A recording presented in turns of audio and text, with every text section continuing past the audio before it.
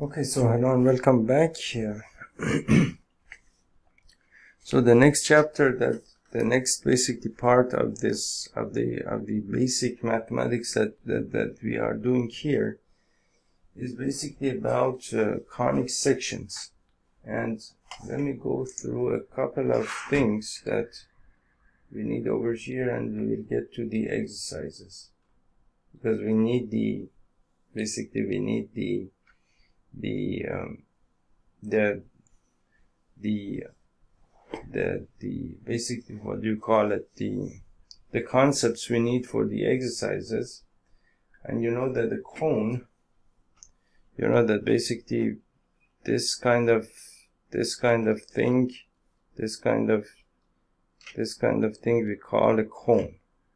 And it basically it has it is the shape of this is actually called the cone so the base is basically usually a the base of course has to be a circle like this. And and this thing is called the cone now there is something called uh, there is something called um, and of course this the this geometric figure has or this if you think of this as a solid it has many many different types of applications in mathematics in physics and wherever you go in sciences you have to understand um, the cone. And then from the cone comes the comes the parabola.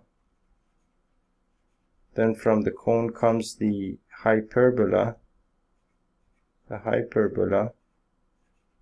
Then from the cone comes the circle then from the cone and also comes the ellipse. Comes the ellipse. I don't want to write these wrong. I there is double L ellipse basically. And basically what happens is that for example if you have a cone over here there is, is there is there is a special type of cone that you can have like this. Let's say that this is halfway through here and this is halfway through here and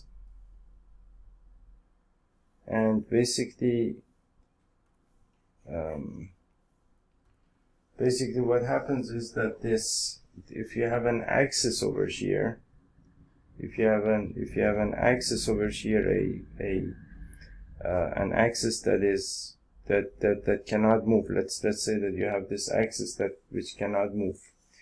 And if you put a line over here, if you put a line over here, something like this, you put this line over here, and let's say that the, the angle between these, the, the axis, so this was basically your axis, and this is basically a line, which is also sometimes called the generator called the generator.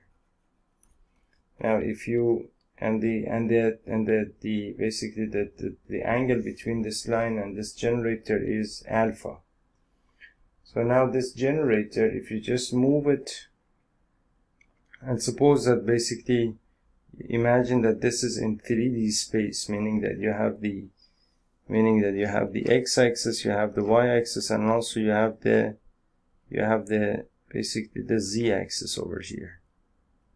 You have the z-axis over here. So if that is the case so you have x y and z. Z x and y you can write them in any order that you want really but uh, you are in 3d space. Now in 3d space if you just at this angle there is this point. You can you can fix this point this is a fixed axis which cannot move, right? And this is a line that can be moved and it is fixed to this, to the axis at this point, which is called at this point over here. And the, the angle between, between this line and the axis is alpha.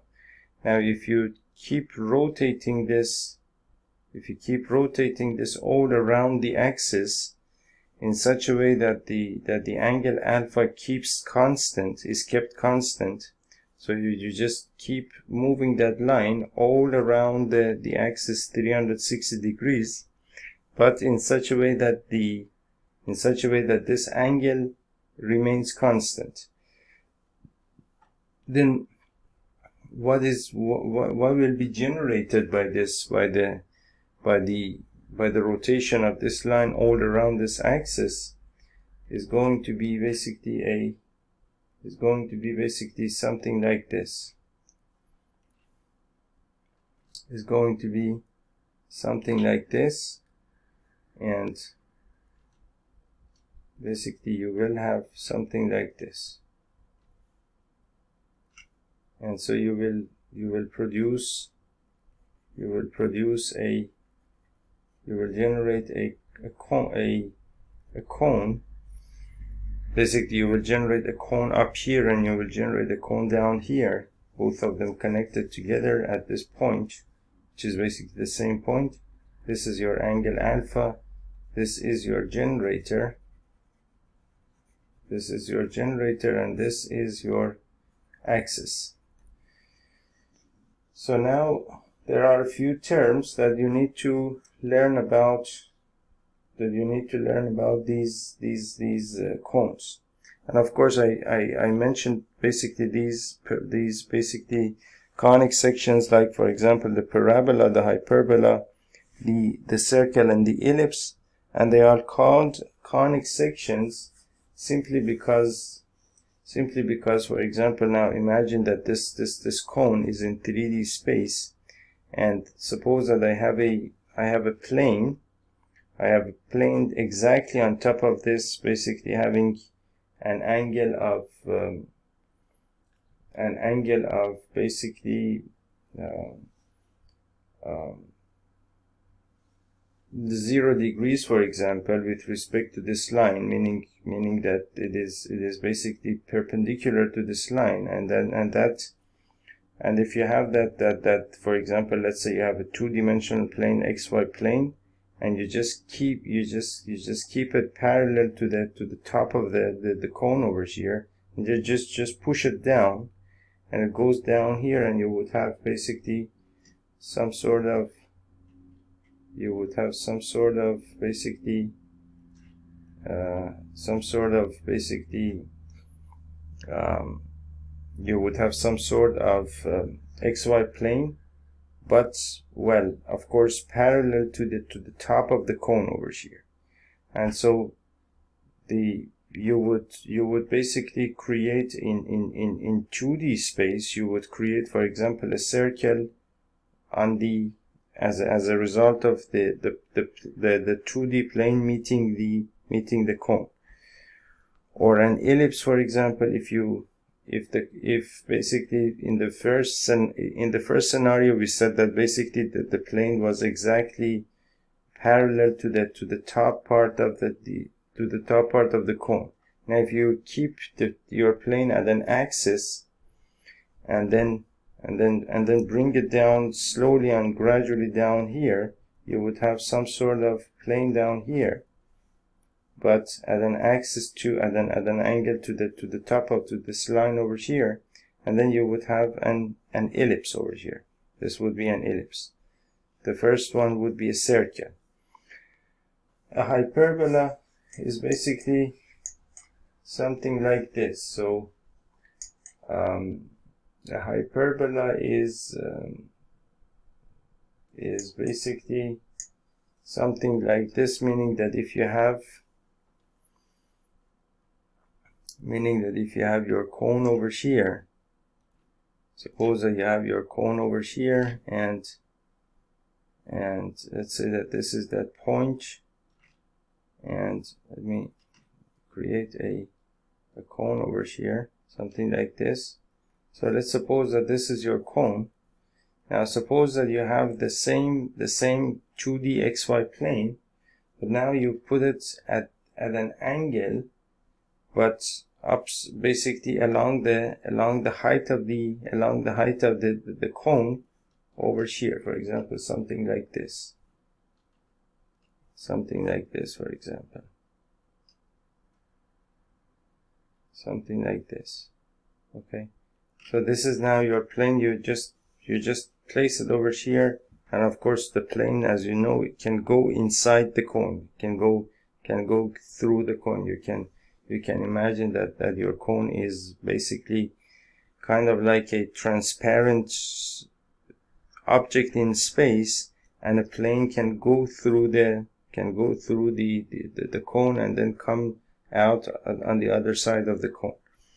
So now if you put it halfway somewhere between somewhere in the middle of the cone, then you would you would create of course basically drawing these kinds of things is not really easy but you get the idea that that for example you would get you would get for example some sort of figure like this over here something like this. You need to of course you do need to to find some way to um, to mm, to imagine these to, to be able to imagine these things in your mind. And um, that kind of that i mean that way of using your mind of course would would help you at, would would help you a lot in in in, in basically learn mathematics learning physics and i suppose learning all kinds of sciences really. And so this would be a, a, a hyperbola meaning that then in 2d space we would a hyperbola would be would be basically would be represented this way and there is also something called called a parabola. There is something else called a parabola. A parabola in 2d space is is shown like this. This is called a parabola. And you know that this is a second degree this is a second degree degree polynomial in algebra. Now in in 3d space if again if you have your your cone and if you if you if you generate your cone like this and suppose that this is suppose that this is your cone. Now suppose that you have the same xy plane two-dimensional plane and that two-dimensional plane now you need to basically uh, insert your plane into your cone in, for example, in, in, in this kind of orientation, for example, something like this, in this orientation over here. And then what happens is that then in, in basically the, basically this plane is just, you can, you can imagine this plane as just a, a, a, a transparent piece of paper for example, a very transparent piece of paper that goes through that, that cone. And that cone you can you can imagine that it's a cone in space which is 3D but transparent. And transparent and also in such a way that for example your basically your your sheet of your transparent sheet of paper can can can can just slide through that that 3D 3D solid now once that happens so then on the on the on the basically on the side on the wherever basically the the this plane meets meets basically your solid you will have for example some shape like this. Of course it's not again it's not easy to to to basically have a clear shape of these things in your mind probably if you find some sort of software on the on the on the internet some sort of software that with which you you could basically take a few solids for example take a cone and take a 2d plane and then put move the plane around and see what happens inside. So let me see if I can actually find something like that. So for example if you search for if you search for the intersection of 2D plane with 3D 3D geometric 3D solids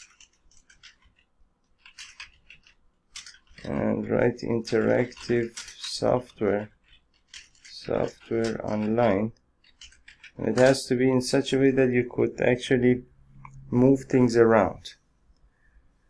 So for example if you go over here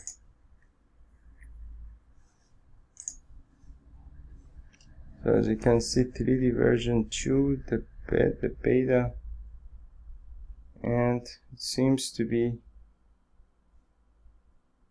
and tutorials web figures recommended configuration. Okay for example something like this. Something like this for example.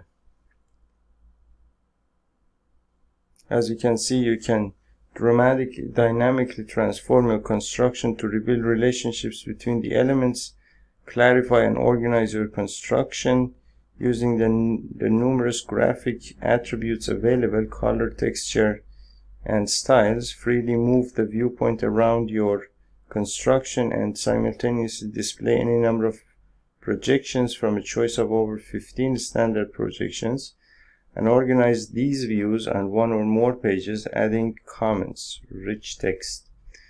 Print or capture document pages at high resolution, expose, export your documents as, inter, as interactively manu, man, manipu, manipulable figures for inclusions in Windows applications and web pages, free Windows plugin. And Cabri 3D is a completely new product is available separately from 2D Cabri okay something like this for example you can find on the internet training videos. Let me see for example let's see what we have over here. Creating a um, a decahedron and now so for example when you get to the end of the step you can move the mouse over the screen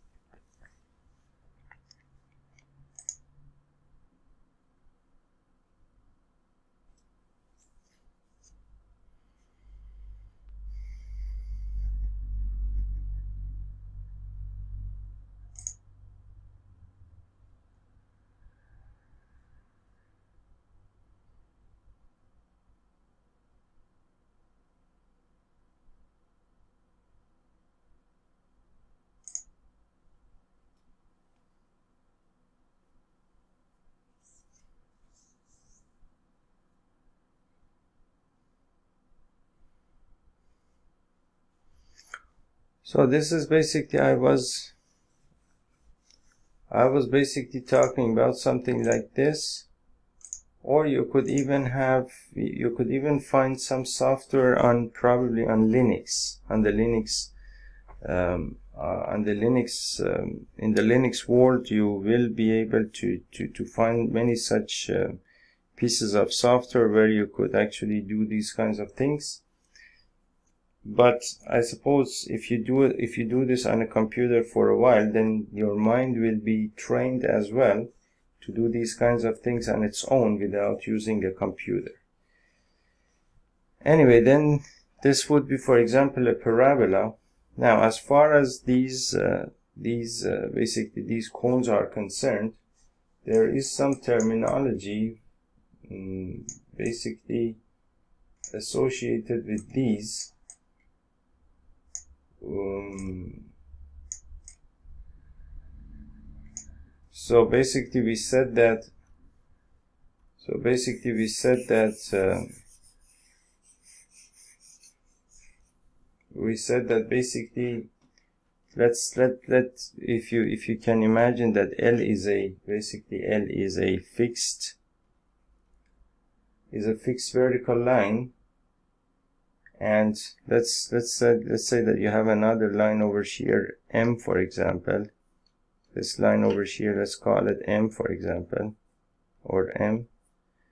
And this this line m is fixed to fixed to l at this point at this point over here. At the point for example let's call it v for example. And the and the inclination of the of the of the line m with respect to line l is let's suppose that for example that is alpha. Now if you rotate if you rotate this line l um, around if you rotate this line m around the line l in such a way that this angle remains constant there will be a surface generated around around this around this axis.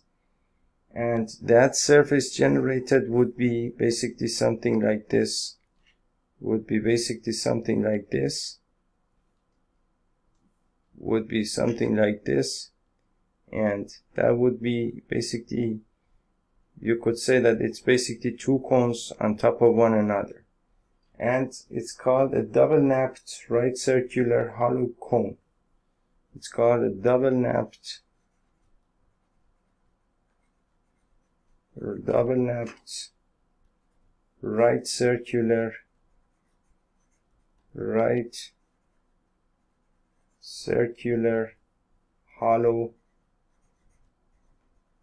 hollow cone. So this is basically this is basically one thing that that you need to learn about. This this is of course a right circular cone because if you if you imagine that there is a base over here this axis is has a is basically at an angle of 90 degrees to the base.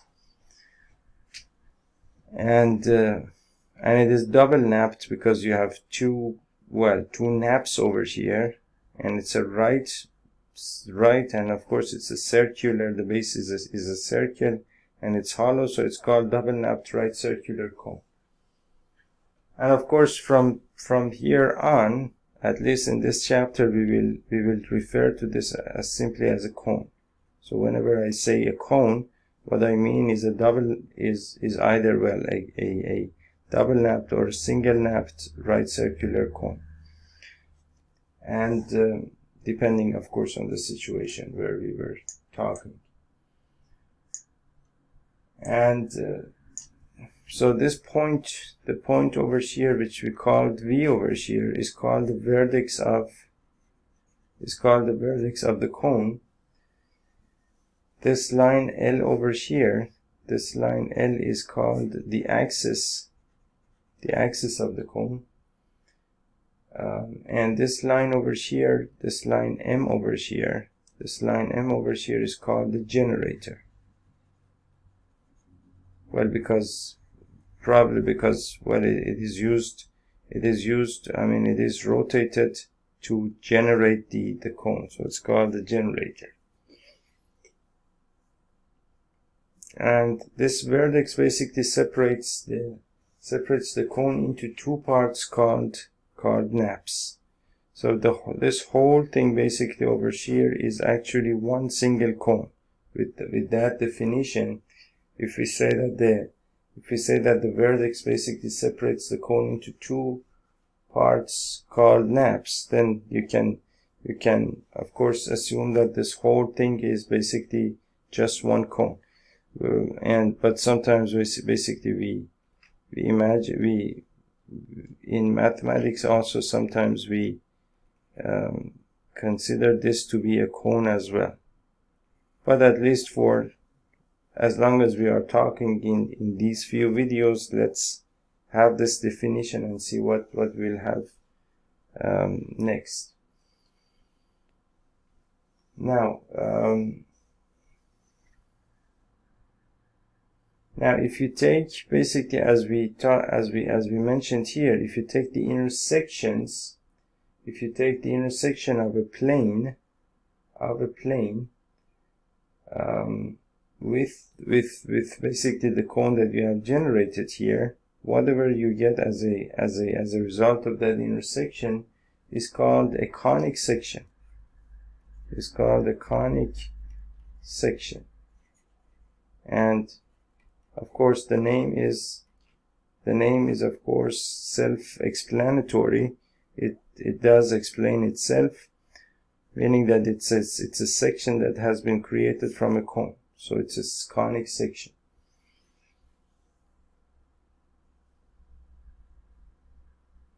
So basically then you can say that conic sections are basically curves obtained by intersecting a right circular cone with um, with a plane or intersect uh, basically you can say that the conic sections are, are are these kinds of curves for example that you see over here that are generated as a result of the intersection of a of a basically right circular cone and a two-dimensional plane. And well of course depending on the position of the the position and the and the angle of inclination of basically depending on the way that you that you that you intersect the two together then of course you will get different kinds of curves with different kinds of names of course um,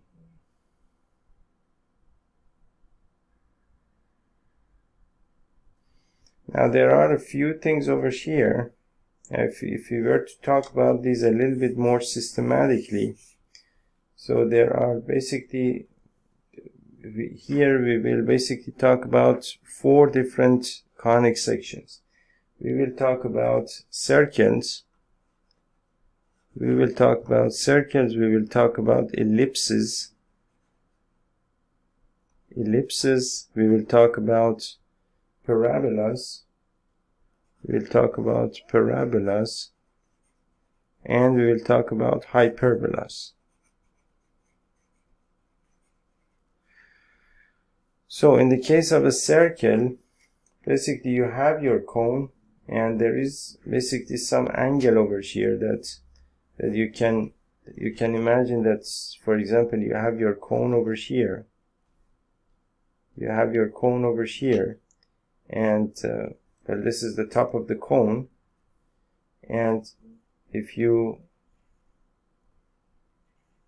if you put basically we had a 2d plane that you have to depending on how you how you intersect your your plane with with your cone you're going you're going to get one of these one of these conic sections or some other thing that we have not listed over here. Now what we have over here is that basically if you have this this this this, this cone over here now you can imagine that I can place my I can place my uh, 2D plane. I can place it over here like this meaning that I can put it over here like this and over here like this and over here like this and over here like this. And and over here and over here I will have basically this I will have this circle. And of course you can imagine that you can imagine that there is if you, if you imagine that there is a line over here you can imagine that this angle over here if I call it beta over here you can imagine that beta is 90 degrees meaning that the angle between between this between this line and the axis of the cone is 90 degrees. So then in that case you will get a circle. So then you can say that if basically when beta is equal to 90 degrees the section basically is called a circle okay now there is um, there is basically one more possibility that, for example, let's say that you have your cone over here. You have your cone over here.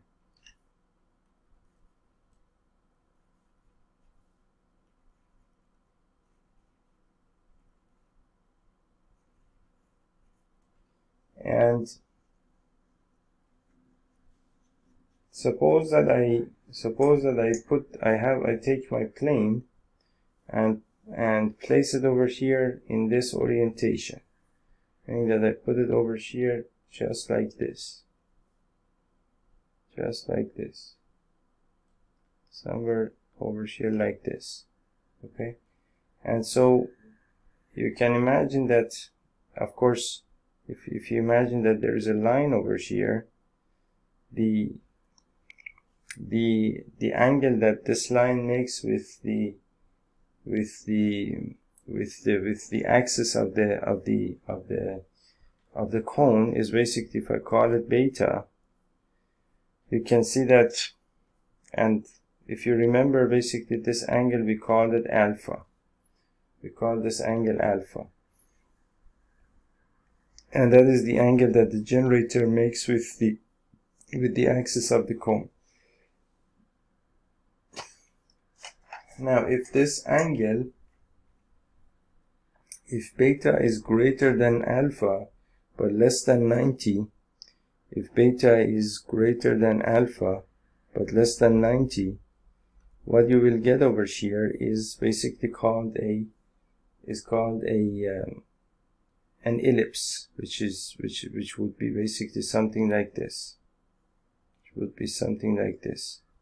And you know that and in the case of an ellipse um, basically in the case of a circle if you have a circle over here a circle basically you can say that this is the diameter of the circle and this is the diameter of the circle.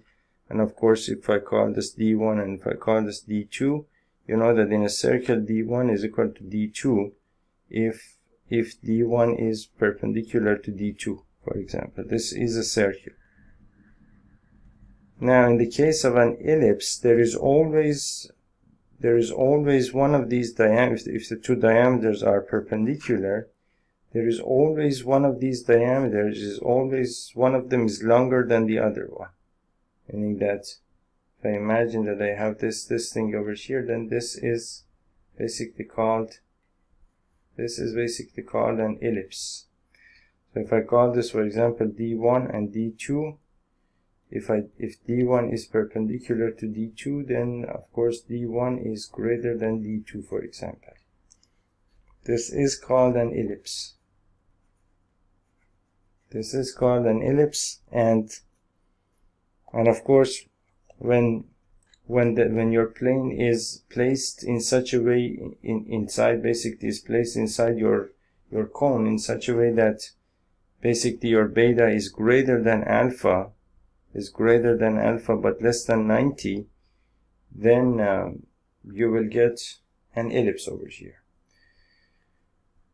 And that's basically what an ellipse is. We will we will talk more about ellipses later now there is um, one more possibility. Of course, there are many, many other types of possibilities. Mm, I'm not really sure if there are there are only four different cases over here, but I, I suppose there there might be more possibilities of generating different, much more, I mean, many more different types of at least conic sections using a cone. Now, let's suppose that I have my let me open my window.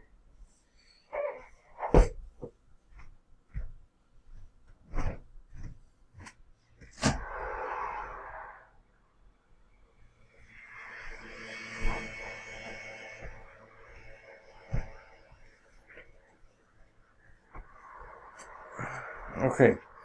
So now let's suppose that I put I place my cone uh, a parabola in a parabola 1.6 okay. So now let's suppose that I have my cone over here. I have my cone over here. And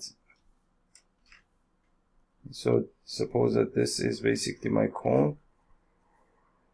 And now I have the same plane but now this time I put, I place my, my plane in a different, in a slightly different orientation.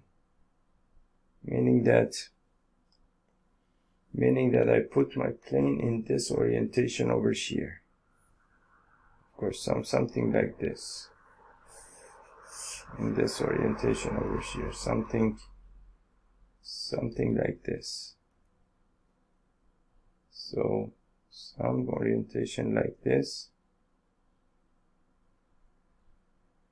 And if I do it, if I if I did so I would get basically this line over here.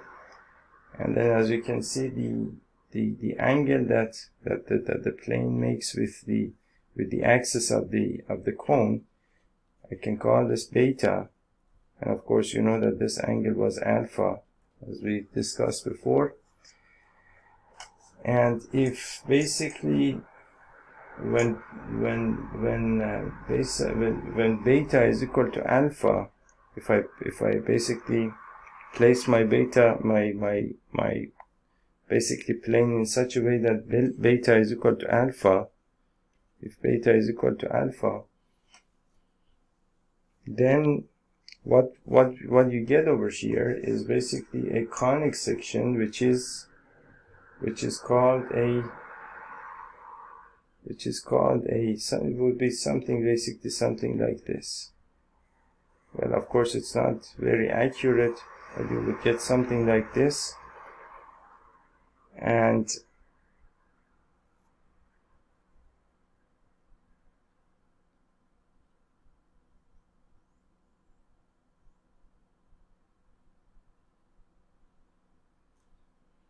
of course you, you, you should of course you can imagine that this this cone is is a hollow cone.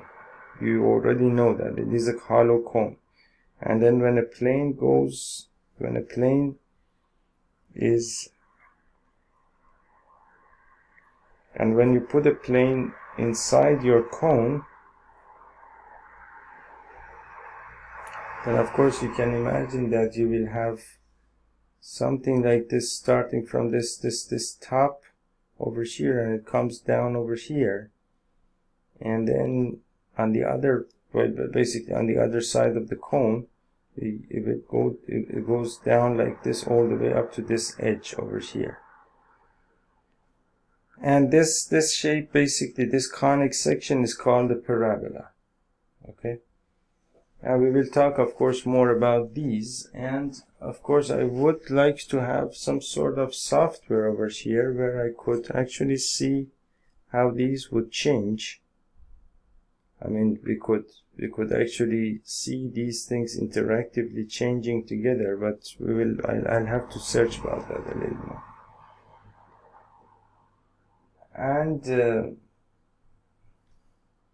and so that's basically where, where beta is equal to alpha. So that's basically called a parabola. Now let's suppose that you have let's suppose that you have basically a cone over here. Let's suppose that you have a cone over here. And in the case of this cone in the case of this cone what you have is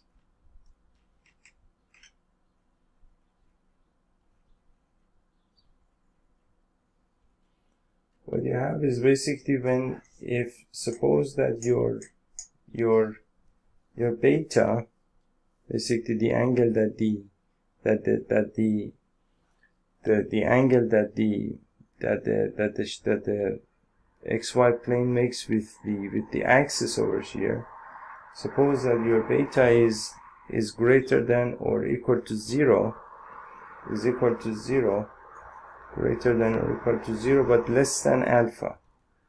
This is your alpha. And suppose that I put my plane in this in this orientation so your beta is less than alpha but but greater than or equal to 0 so I would I would basically get something like this. I would get something like this. Uh, probably something like this. Well of course this is just okay I would get something like this. And then and then this would be this would be basically the angle that this would be the angle that this makes with the this would be beta. And beta is greater than or equal to 0 less than alpha. And then um, I would get basically something like this over here. Something like this over here and something like this over here. It, it, it should be it should be something like this over here. Okay. So this kind of now this kind of conic section and of course you can imagine that well again I should find some sort of software so that I can actually see these myself. But but but basically this is a good place to start basically but not not not really a great place to start. Anyway then this this kind of conic section is called a hyperbola okay? So so that's basically all about these. Now the first thing that we that we had over here was a circle.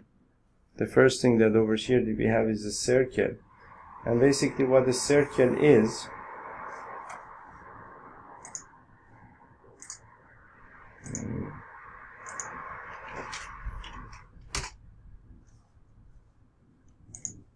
basically what the circle is you can say that the circle is a set of all points in a plane that are equidistant from the fixed points in the plane. So basically when you have suppose that you have this circle over here and it has some sort of center and we know that basically if you if you draw this as the radius of the circle this radius is equal to this radius is equal to this radius is equal to this radius and so on and so forth so what that means is that every point on the circumference of this circle is is is at a at a fixed point from some point in the plane which is basically called the center of a uh, the center of the circle. So as a definition, but of course some people say that the circle is a locus of all points that are at a they, some people say that the, that the circle is a the circle is a is the is the locus of lo, locus of all points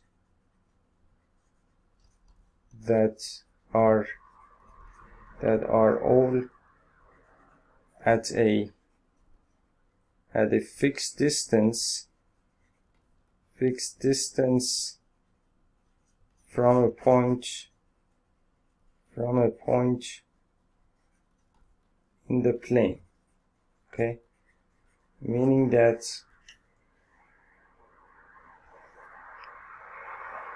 meaning that the locus of all points then you would have to know basically what they mean by the by the locus of all points but here the definition that we have over here is well much more practical and simpler.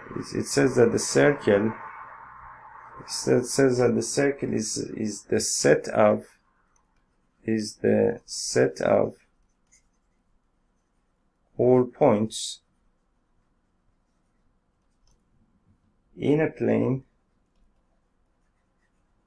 in a plane that are that are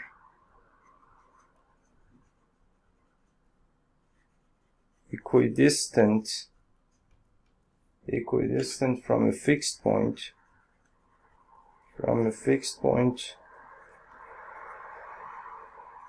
fixed point in the plane from a fixed point in the plane. And so that fixed point, as you know, is called the, the center of the circle and the distance from the center to any point on the, on the circumference of the circle is called the radius of the circle.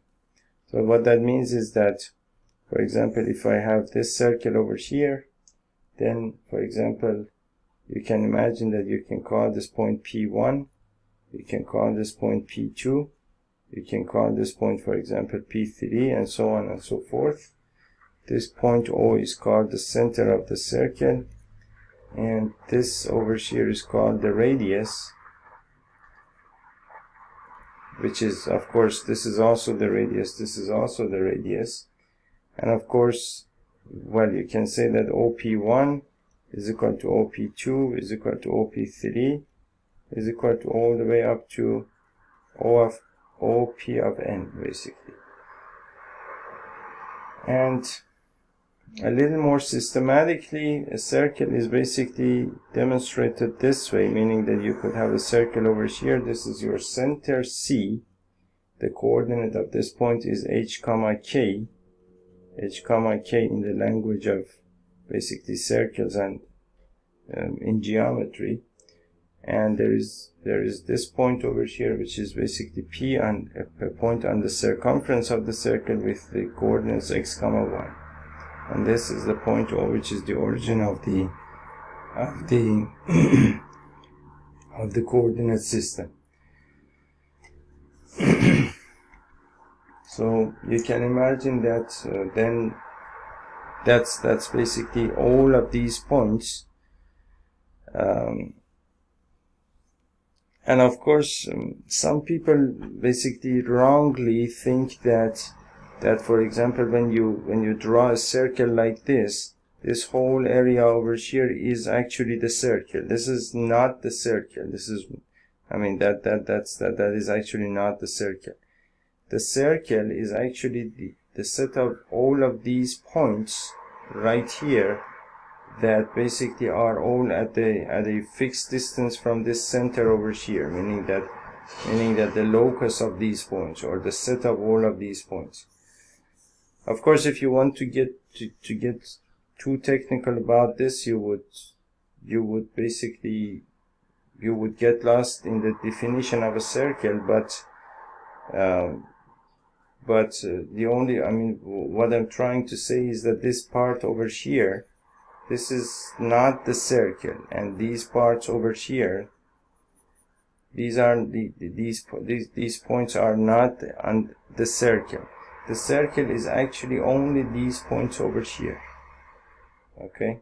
Only these points over here.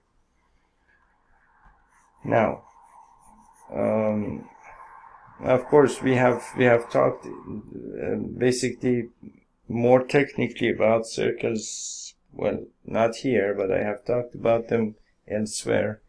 Now if it's if it's necessary we will we will put together a good a, set of good definitions and everything about circles, but otherwise, right now it doesn't seem to be necessary. So now, in order to find the diff in order to find an equation for a circle, we can do it based on the based on the definition that we that we that we just had over here for the circle. We said that the circle is a set of all points in a plane that are equidistant from a fixed point in the plane meaning that the set of all of these points is called the circle.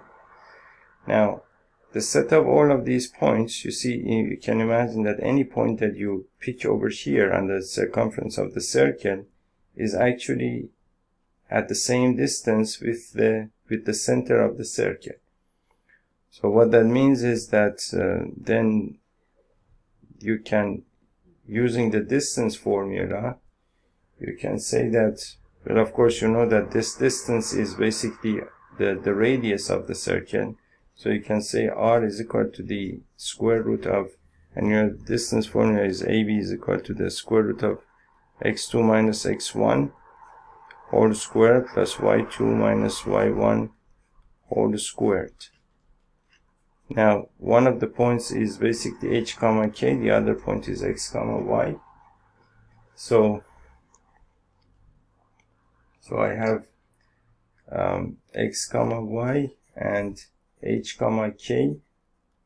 H comma k two points over here. So I can write basically x2 minus x1 take this as 0.2 take this as 0.1 x2 minus x1 would be x minus h. X minus h whole squared plus y minus k. Y minus k whole squared.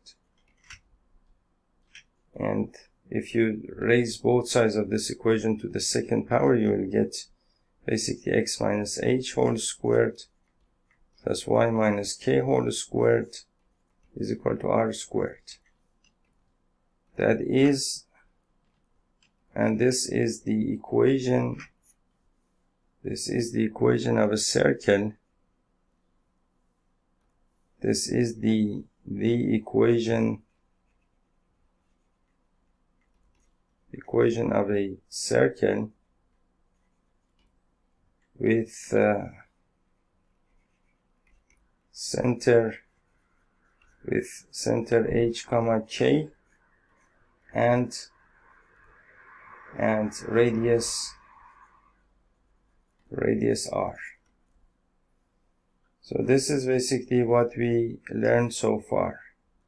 So it's good to know that for example that, that for example your circle where, where it actually comes from technically and then of course we will find our, our way through all of these things now there is only a couple of examples over here and they are all useful examples. We will do them as well and then we'll get to the exercises. Okay, so now we have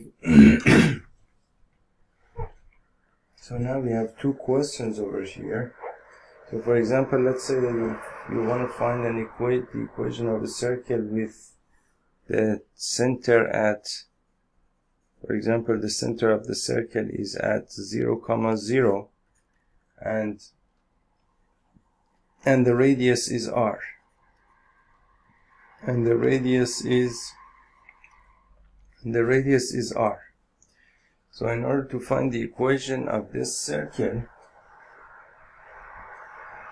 so basically what you what you need to do over here is that um, um, is that um, basically uh, we said that h minus x minus h whole squared plus y minus k whole squared is equal to r squared. This was the this was the equation of a circle whose center is at h comma k and whose radius is r. Now if the if your h and k are 0 comma 0 h comma k are at 0 comma 0 then uh, in this in this formula what you can do is that you, you, you would get x squared plus y squared is equal to r squared. And that is the equation that is the equation of the equation of a circle of a circle with with center at center at the origin at the origin and radius r and radius r. So this is something kind of of course general that you can use in well many different situations as long as your circle has not been shifted to any other to, to, to any other point in the in the coordinate system. And uh, and of course you know that this um, basically this um, when you write basically I mean compared to this for example if you have x squared plus y squared is equal to r squared and if that is a circle at at the origin center at the origin with radius r. Then what that means that when you write x minus h whole squared plus y minus k whole squared um, plus y minus k whole squared is equal to r squared then this is basically some shift in in your in your x and y meaning that your x has been for example your x has been moved to the moved to the moved to the right by h units and your your your your y has been moved to to to to to basically not upwards but downwards. Um, but downwards like k units or something like that. But of course we will get there. You don't need to worry about this right now. But anywhere where you have for example y is equal to if you have y is equal to for example if if y is equal to f of x is equal to for example let's say that that doesn't apply here I, I don't want to confuse you okay? Okay so the next thing that we have is another example and it's too hot today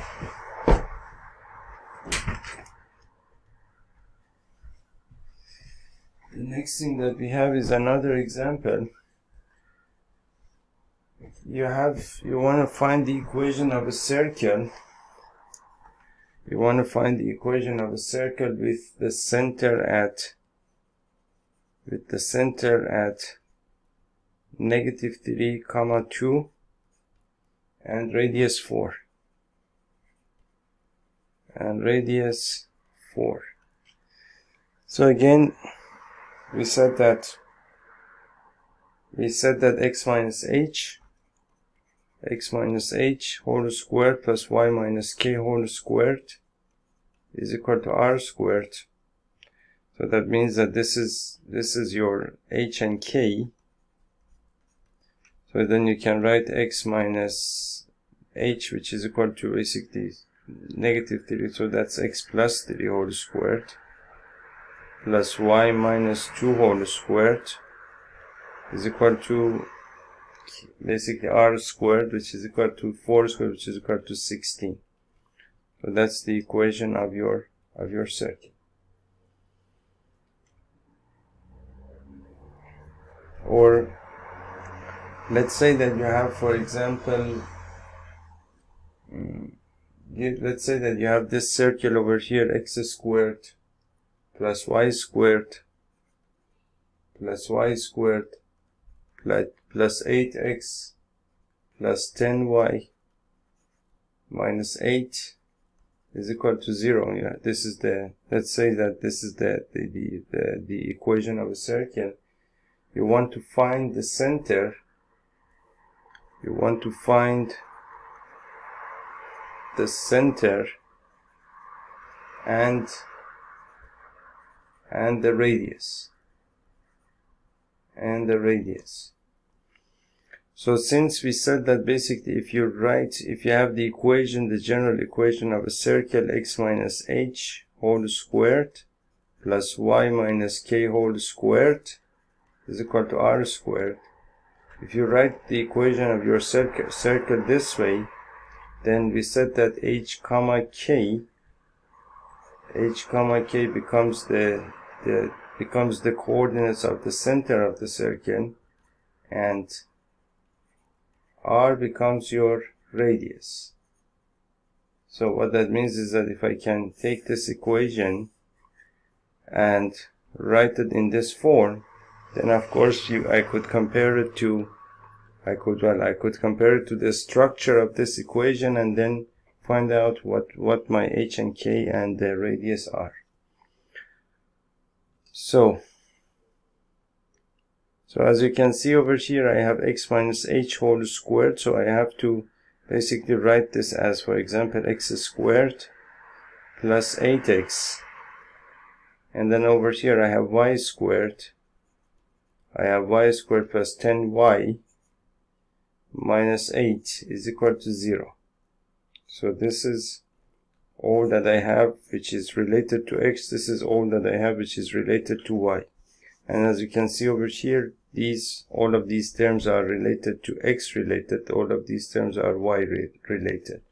And of course, h and k are constant. So, so that's basically that. So now in order to be able to write this as a perfect square you do know that basically you do know that a squared plus b squared plus 2 times ab is equal to a plus b whole squared. So I want to write this as a plus b whole squared. Now these basically I have this term is x squared for example let's say. This term over here let's say is 2ab but but b squared is not there.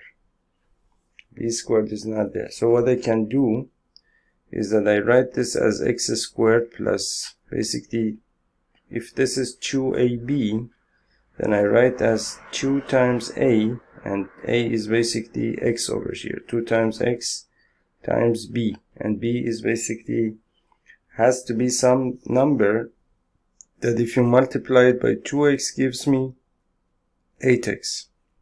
So it has to be 4. So, so far I have not changed this equation at all. I have written it as x squared plus 8x. Now, I need this term over here as well, which is b squared. And I said that b, we said that b is equal to 4. So b squared would be 4 squared. so now I have added a 16 to this equation so I have to sometimes somewhere I have to subtract it so I write a negative 4 squared over here so that I have not changed anything over here. And this becomes basically this first part over here. And in the same way, I can write basically y squared plus 10y. I can write it as plus y squared plus 2 times ab. So 2 times y times 5, for example. 2 times 5 is equal to 10 times 1 is equal to 10y and now I need my b squared as well. So b is 5 over here so that's 5 squared. So I subtract the 5 squared as well so that I have not changed anything here. And then I have a negative 8 negative 8 over here. And this is equal to 0 this is equal to 0 so now over here I have x plus 4 x plus 4 whole squared and over here I have y plus 5 whole squared y plus 5 whole squared.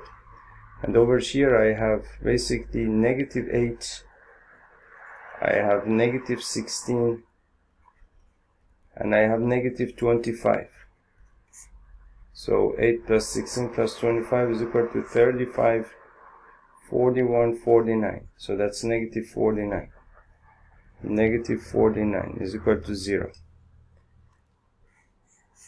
and then and then what we have is basically x plus 4 whole squared plus y plus 5 whole squared is equal to positive 49 and and of course I can write this as um, and of course I can write this as x plus 4 whole squared plus y plus 5 whole squared is equal to 7 squared. So, and the, the general form of the of the of the of the equation of the circle was x minus h whole squared plus y minus k h and k. y minus k whole squared was equal to r squared. So as you can see over here I have my negative h is equal to 4 and negative k is equal to 5 that means that h is equal to negative 4 and k is equal to negative 5 and as you can see r squared r squared is equal to 7 squared. That means that r is equal to 7 so that is basically all of the pieces of information that we were looking for. So that means that h comma k which is the center of the circle which is the center of the circle is equal to negative 4 comma negative 5 and r is equal to positive 7 so that's basically how you would solve for example this example. And one thing that I I mean uh, I I say this out of really out of experience, these things, of course, are simple. I mean, there is nothing really very complicated about them. But, uh, well, believe it or not, they are tricky. You know, they are really tricky, meaning that you basically, you, you even you derive an equation and you think that you have understood it. For example, you derive your equation, we derive this equation somewhere over here, you derive the equation this way, and well, of course, there is nothing complicated about this. And well, you think that, well, of, of course, I have understood this, so whenever I want to use it, I will have no problem doing that. But believe it or not, when you want to use it, you will make some mistakes in the beginning and until you get the hang of the get the hang of the concept get the, get the hang of the equation and how to use that that that concept in different situations and so on and so forth. And well to get the hang of some equation and some concept in mathematics to particularly means that you should well I mean, you need to, you do need to solve enough exercises related to that topic until you feel comfortable with that topic. And then you can, you can safely say that I have learned this topic. And, and of course the topic when you, even when you learn it, you're going to forget it. You are going to forget it after some time. My job right now is to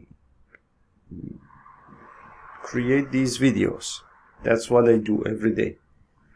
And of course, in order, I mean, in order for me to be able to explain all of these things, I do need to understand them first. Well, I do understand them. I, I explain them over here. I use them in countless examples. And then sometimes there are certain things that I find that I have forgotten after, for example, two months or after three months. And then I have to go back and, for example, take a look and see what that was. But, uh, well, but basically, in the beginning, at least in the in the in the in the in the first stages, you do need to solve enough exercises so that you get the hang of that concept and all the basically related formulas. There is no really there is no other way. I have i mean personally i have tried the other way. I have tried to avoid basically exercises because and my the way that i rationalized it was that i said that it, it would take me a long time and i don't have the time but well then what you will find out is that it, it's, it's not going to work for you that way. Anyway, there is one more question here. We will do this question as well and then we'll go to the exercises. Okay, so the next question that we have is um, find the equation of the circle which passes through the points 2 comma negative 2 and uh, 3 comma 4 and the center of this circle lies on this line. The center lies on lies on x plus y is equal to 2 so so what that means is that basically when we said that the that the basically based on the information that you have you have to put together a few equations and then see if those if it's possible to to solve those equations based on the well based on the equations that you have. Meaning that for example if you have uh, for example two equations containing two variables um, that constitutes a, a system of equations in two variables and then you will be able to solve them in some way or another it all depends on the situation but then then first you need to develop your your equations. So so we said that basically x minus h whole squared plus y minus k whole squared is equal to r squared. That means that basically since this point is on this circle this is a general equation of a circle since uh, assuming that the, that the point 2 comma negative 2 lies on this circle, I can substitute 2 for x and negative 2 for y. So I can write basically 2 minus h whole squared plus y minus k which is negative 2 minus k whole squared is equal to r squared. And with the same logic I can write, so I can call this for example equation number 1 with the same logic using this point, 3 comma 4, I can write for example 3 minus h whole squared plus 4 minus k whole squared, y minus k whole squared is equal to r squared, which is, well, r squared. This equation number 2. Now, I have another equation. I can, I mean, I can write another equation I know that the center lies on this line. So if you basically know that if you have, based on what we had in the in the section related to straight lines, we learned that if you have, for example, some line over here, let's say that this you have this line over here, and you have the, the equation of this line is ax plus by plus c is equal to 0. Now there is, of course, you know that a, b, and c are constants, and x and y are uh, your your variables. You plot your x along this along this axis, and you plot your y's along this axis, and then basically the the the combination of x and b of, of a and b and c multiplied by your x and y and well c as a constant itself. They basically kind of determine what your line what what your line looks like through which point it passes what sort of intercepts it has what sort of slopes it has it has and so on and so forth. Now if if if basically now now that you have this point this line over here if I pick some point over here for example x1 comma y1 and if assuming that this point is on lies on this line there is this relationship between this x1 and y1 if I if I pick another point x2 comma y2 the same relationship is is there between the, the x2 and y2 and so on and so forth. So that means that what that means is that uh, basically uh, for example as an example to, to, to demonstrate this more practically in a in a more concretely for example let's say that you have this line over here um, let's say that you have this line over here for example let's say that this this line is equal to, is is this the equation of this line is x is equal to y so so what that means is that the relationship between x and y coordinate of every point on this line is that x is equal to y. It's very simple and it's very elegant, of course, and it's a good example. Meaning that, for example, if you pick this point over here, it's 1 comma 1. 1 comma 1. And you see that x is equal to y. If I pick, for example, this point over here, it is 2 comma 2. And you see that x is equal to y. If I go over here and pick this point over here is negative 1 comma negative 1 and still you can see that x is equal to y and so on and so forth. So what that means is that if my center which is h comma k lies on lies on basically x plus y is equal to 2 I can say that this relationship is there between the between between between h and k whatever that, that those points might be this relationship is between is is is there between the two between the this x coordinate and this y coordinate. That means that I can write and and what that also means is that this point of course would satisfy this equation because this this point lies on the line. So then based on this I can write h plus k h plus k is equal to 2 and I can call this equation number 3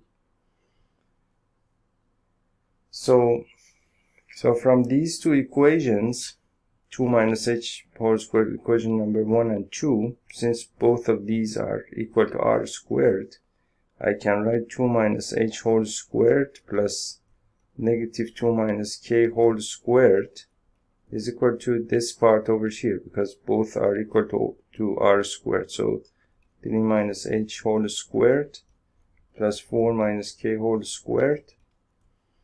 And if you basically um, expand this, you will get basically 2 squared, which is equal to 4 2 squared which is equal to 4.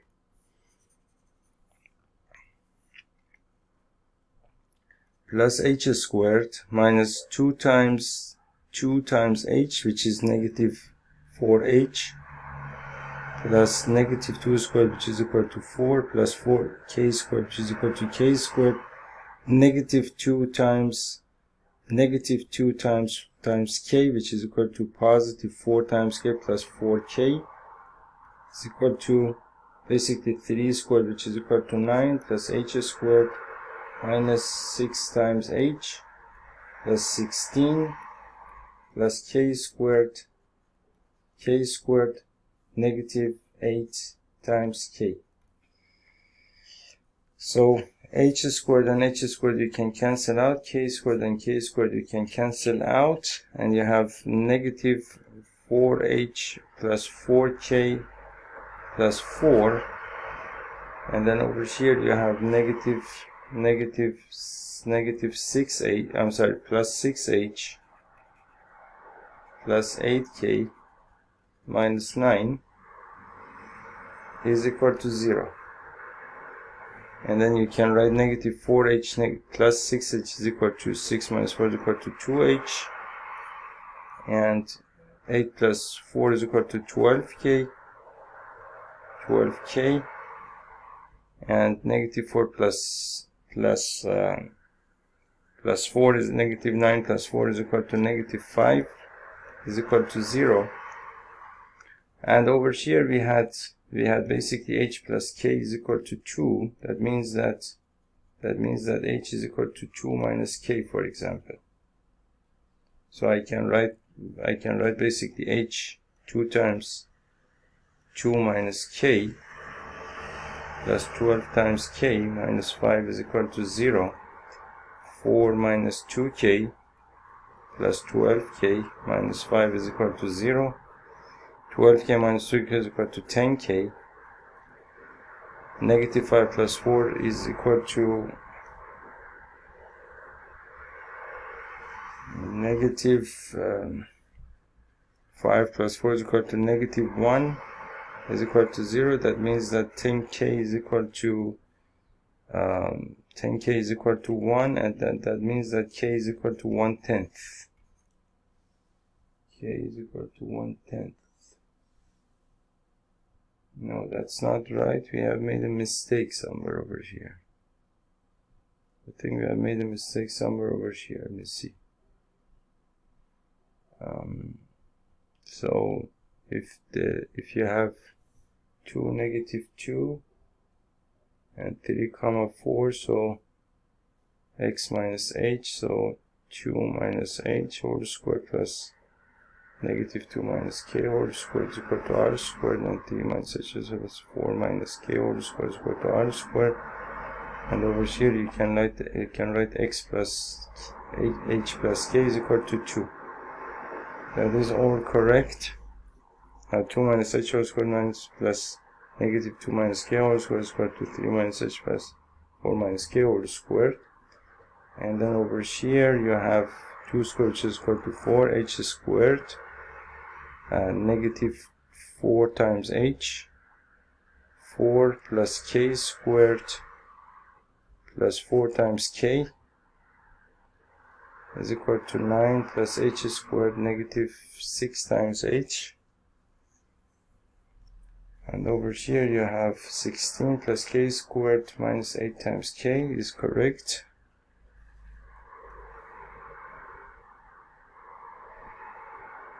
Yeah, let me erase these parts and see what I have done over here. So now here h squared and, and h squared I can cancel out k squared k squared can cancel out. So I have negative 4 times h and negative 6 times h because plus 6 times h. And then over here I have 4 times k 4 times k plus 8 times k 8 times k. And over, over here I have 4 minus 9 plus 4 minus 9 is equal to 0 but there is a 16 over here. There is a 16 over here plus 4 minus 9 minus 16 is equal to 0. So that means that um, 6 minus 4 is equal to 2h. 4k that's plus 12k.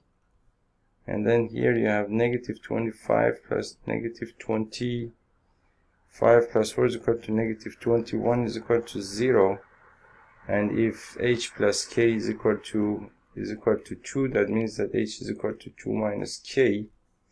So then 2 times 2 minus k is equal to plus 12k minus 21 is equal to 0. That means that 4 minus 2k plus 12k minus 21 is equal to 0. 12 minus 2 is equal to 10k. Negative 21 plus 4 is equal to uh, 17. Negative 17 is equal to 0. And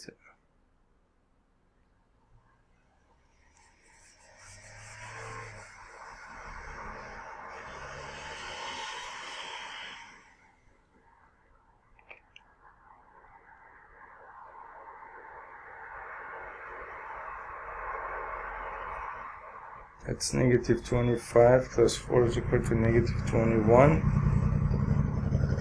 And then over here you have 2 times 2 minus k plus 12k minus 21 is equal to 0. 4 minus 2k plus 12k minus 21. 12k minus 2k is equal to 10k. And that is 20, negative 21 plus 4 is equal to negative 17. So that means that 1.7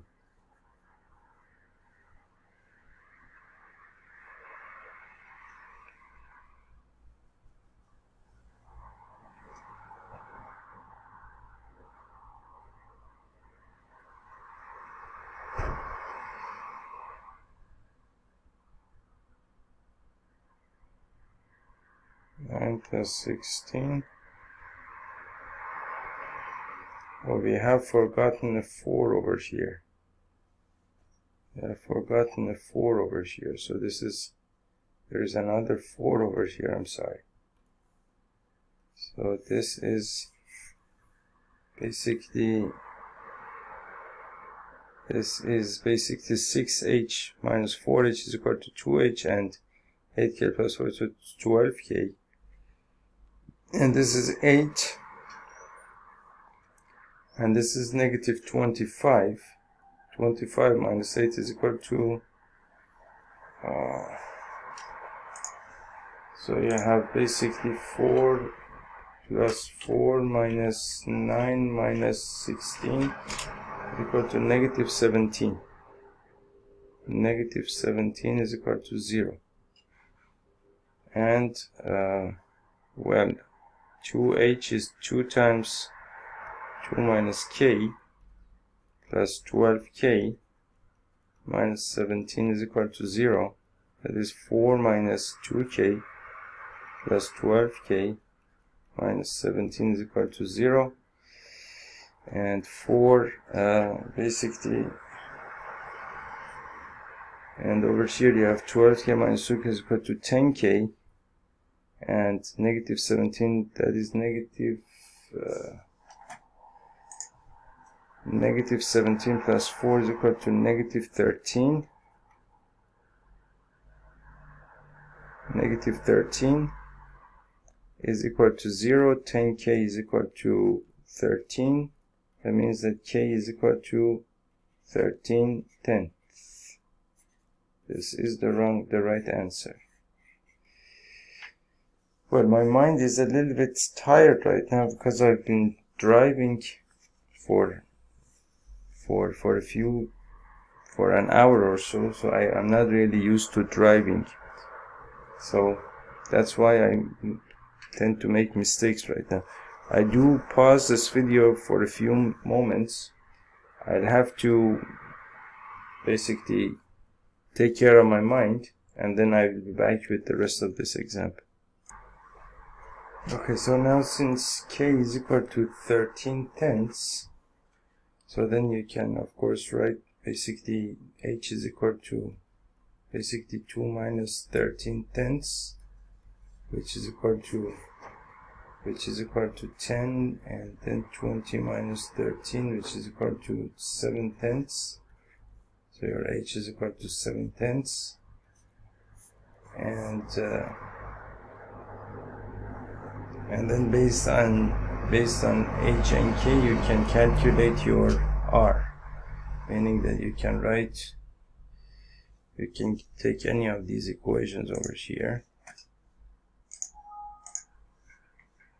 You can take for example this equation over here and make a screenshot over here and then and then right over here. Basically we had 2 minus h whole squared plus negative 2 minus k whole squared is equal to r squared. So your h is equal to 7 tenths so 2 minus 7 tenths 7 tenths whole squared my plus negative 2 minus 13 tenths whole squared is equal to r squared now 2 minus 2 minus 7 tenths is the same thing as 10 20 minus 7 which is equal to 13 tenths. 13 tenths whole squared is equal to 169 hundredths. And negative 2 negative 13 tenths is equal to 10 negative 20 negative 13 which is equal to negative 33 negative 33 tenths uh, negative 33 tenths is equal to negative 33 tenths whole squared is equal to well, 33 squared is equal to 99 0 99 and then you have 9 18 and 1089 1089 divided by a hundred is equal to r squared. So what that means is that 1089 1089 plus 169 is equal to 18 1 9 plus 6 is equal to 15 1 2 1 1 2 5 8 so that means that 1 2 5 8 tenths is equal to r squared so this is the value of r squared. So now what we know is that basically h is equal to this k is equal to this and so on and so forth. So I can make a screenshot over here. Put this over here and then come back up here somewhere. And so now I know that I know that basically h is equal to 7 tenths k is equal to 13 tenths and r squared is equal to r squared is equal to 1258 tenths. So we set that h x minus h whole squared plus y minus k whole squared is equal to r, r squared. So then you can substitute these values here. H is equal to 7 tenths so x minus 7 tenths whole squared plus y minus 13 tenths whole squared is equal to r squared which is 1258 divided by 10 and that is the equation of the circle that we were looking for. So that is basically for example how you solve such a such such such a such a such a such a problem. Now in the in the next video we will go through some ex some exercises and see what those look like. We have around 15 exercises over here so i'll see you in the next video. Thank you